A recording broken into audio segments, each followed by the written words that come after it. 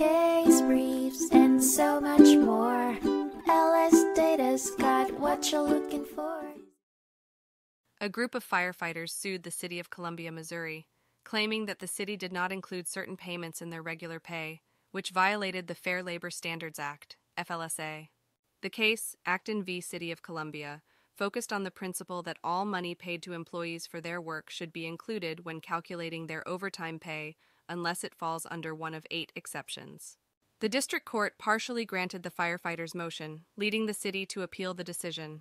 The court ultimately held that sick leave buyback payments must be included in firefighters' regular pay, affirming the district court's judgment in favor of the firefighters.